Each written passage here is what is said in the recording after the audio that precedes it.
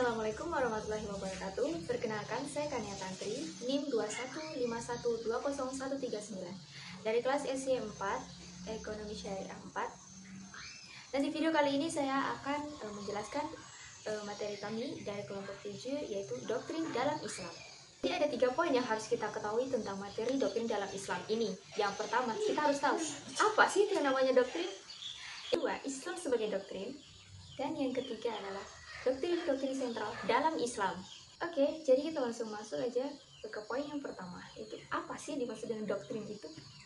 Jadi, doktrin dalam bahasa Inggris yang yang biasa disebut doktrin yang artinya adalah ajaran. Nah, di dalam kamus besar bahasa Indonesia, doktrin adalah suatu ajaran, aliran e, politik dan keagamaan atau lain-lain. Jadi bisa kita simpulkan bahwa doktrin adalah ajaran-ajaran atau asas yang mendirikan agama atau organisasi yang bersifat absolut dan tidak bisa diganggu gugat. Oke, poin yang kedua adalah Islam sebagai doktrin.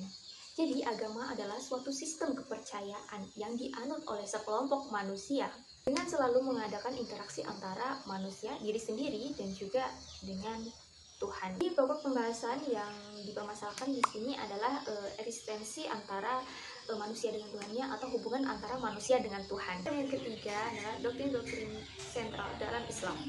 Nah, ini dibagi lagi menjadi uh, tiga bagian. Yang pertama iman kepada Allah, ya kita tahu kan, iman kepada Allah merupakan uh, rukun iman yang pertama.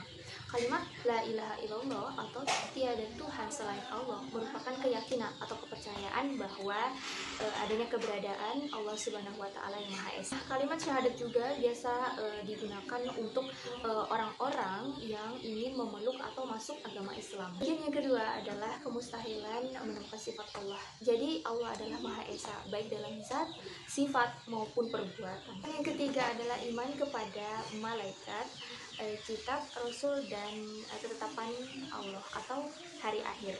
Jadi umat muslim harus mengimani eh, malaikat-malaikat Allah, kitab Allah, rasul Allah dan juga hari akhir.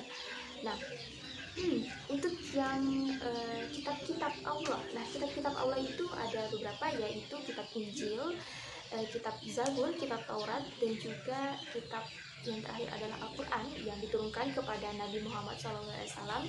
Nah, kitab Al-Quran ini sebagai penutup atau sebagai penyempurna dari kitab-kitab lain. Nah, kitab Injil diturunkan kepada Nabi Isa, kitab Zabur diturunkan kepada Nabi Daud, dan kitab Taurat diturunkan kepada Nabi Musa alaihissalam. Uh, poin yang selanjutnya itu ada uh, ada uh, iman kepada Rasul Allah. Jadi kita sebagai umat Muslim diwajibkan beriman kepada Rasul Rasul Allah ini jadi tugas antara di antara Rasul-Rasul Allah itu yang pertama eh, mengajarkan tauhid, mengajarkan akhlak-akhlak mulia, akhlak-akhlak terpuji, mengajarkan manusia untuk berbuat kebaikan, mengajarkan manusia dan agar menyembah Allah Subhanahu wa taala dan juga mengajarkan hal kebaikan yang lainnya. Sifat-sifat Rasul itu ada sidik, jujur, amanah, dapat dipercaya, tabligh, eh, fatonah, bijaksana. Akhir itu ada eh, ketetap percaya kepada ketetapan Allah atau percaya pada hari akhir. Nah, kita sebagai umat muslim itu harus e, percaya kepada hari akhir atau menyemani e, hari akhir karena hari akhir itu memang e, benar-benar terjadi akan benar-benar terjadi. Nah, oke okay, baik terima kasih mungkin hanya itu yang bisa saya jelaskan. Kurang dan lebihnya saya mohon maaf. Wassalamualaikum warahmatullahi wabarakatuh.